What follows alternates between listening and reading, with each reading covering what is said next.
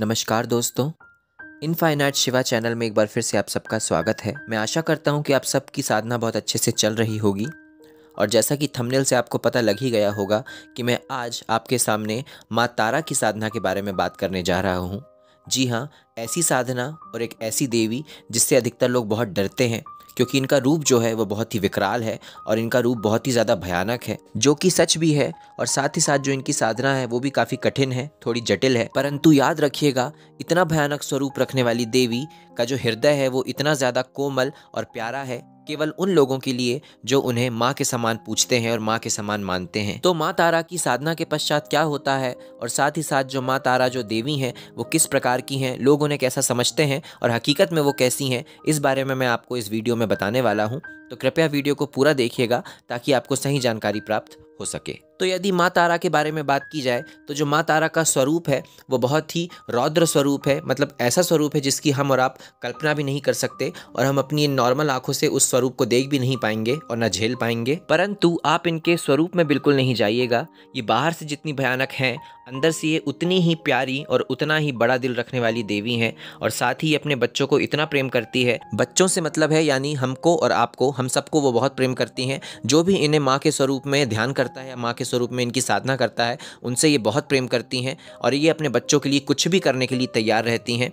और यकीन मानिएगा, देवी के जितने भी स्वरूप हैं, उन सारे स्वरूपों में से यदि कोई स्वरूप ऐसा है, जो अपने बच्चे के लिए कुछ भी करने को तैयार होता है तो वो माँ तारा का ही स्वरूप है। तो जिस प्रकार एक संसारिक माँ अपने बच्चे से अंधा प्रेम करती हैं, उसी प्रकार जो माँ तारा है, यह भी अपने बच्चे से एक अंधा प्रेम करती हैं।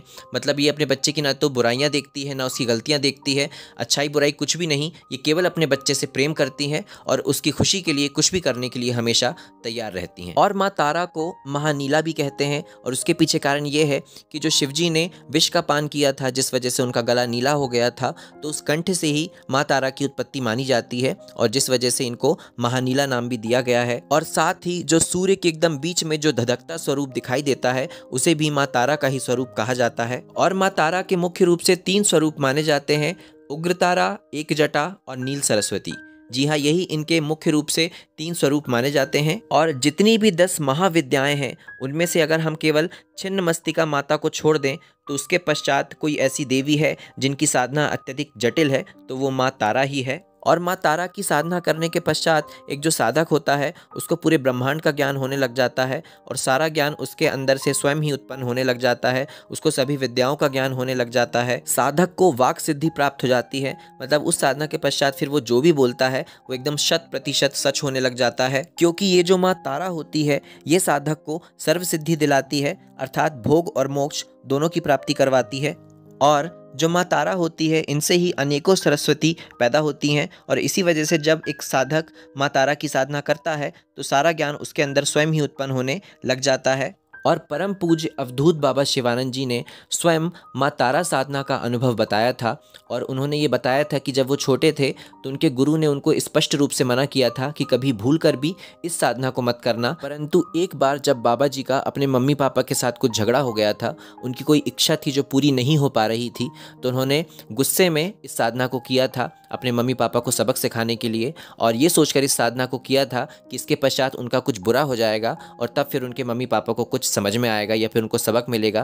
तो जब उन्होंने ये बताया कि जब वो इस साधना को करने बैठे तो उनके सामने बहुत ही एक तेज प्रकट हुआ, एक बहुत ही तेज प्रकाश, और उसके पश्चात वो ये सोच रहे थे कि मेरे साथ अब कुछ बुरा होगा, अब कुछ बुरा होगा, परंतु वो तेज बढ़ता चला गया, बढ़ता चला गया, और उसके पश्चात जो माँ तारा का स्वरूप प्रकट हुआ, वो इतना भयानक था, परंतु उसके पश्चात भी जब वो उनके पास आई तो उनको एक बच्चे के समान प्रेम करने लग गई, एक बहुत ही वात्सल्य का जो एक भाव होता है, वो उनके ऊपर उड़ेलने लग गई, क्योंकि बाबा जी के अंदर जो भाव था, वो तो एक बच्चे का ही था। और इस वजह से जब आप एक बच्चे के समान भाव रख के माँ तारा की साधना करते हैं तो उनका इतना उग्र स्वरूप भी आपको आकर एक माँ के समान प्यार करने लग जाता है। तो सिर्फ़ केवल भाव की बात है तो यदि आपका भाव सच्चा है और आप उनसे एक माँ के समान ही प्रेम करते हैं तो कभी भी उनकी साधना करने से पहले बिल्कुल भी नहीं घबराइएगा, ना ही डरने की ज़रूरत है। वो तो एक मातृत्व की देवी हैं। यदि आप उनसे प्रेम करते हैं तो वो आपको आके उतना ही प्यार करेगी और शायद इतना ज़्यादा प्यार करेगी जिसकी आप कल्पना भी नहीं कर सकते। और इस साधना का सबसे बड़ा फ़ायदा ये होता है कि इसके पश्चात आपके कोई भी दुश्मन नहीं रह जाते,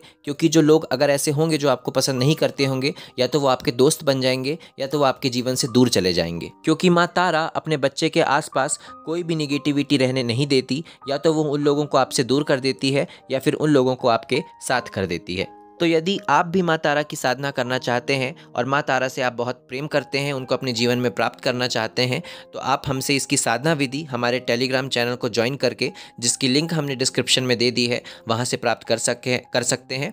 और साथ ही आप हमारे व्हाट्सएप नंबर पर मैसेज करके भी हमसे उस विधि को प्राप्त कर सकते हैं। और एकदम निःशुल्क विधि है, कोई इसके चार्जेस नहीं है और बहुत ही सरल और साधारण और स्पष्ट विधि है। जिसको करके आप आसानी से माँ तारा की साधना कर सकते हैं। तो अगर आपको हमारे द्वारा दी गई जानकारी अच्छी लगी हो तो हमारे वीडियो को लाइक और चैनल को सब्सक्राइब ज़रूर करें। नमः शिवाय।